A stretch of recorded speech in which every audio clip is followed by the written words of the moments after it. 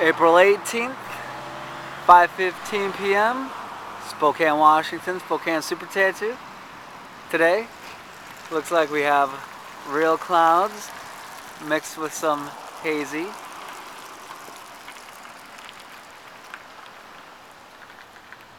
And then nothing but blue sky over here, except for a little bit of haze it looks like. Then Boom, here we go, right into the sun there, which looks black on this camera for some reason. Then, looks pretty haze in this direction. Haze with a couple reels.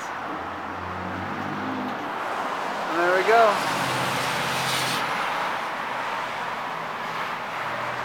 There's your daily dose of the clouds at Spokane Super Tattoo, Spokane, Washington.